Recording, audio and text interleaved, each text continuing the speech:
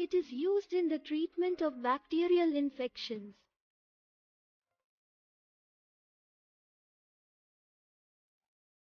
Amoxicillin works by stopping the growth of bacteria. Clavulanic acid works by preventing bacteria from destroying amoxicillin.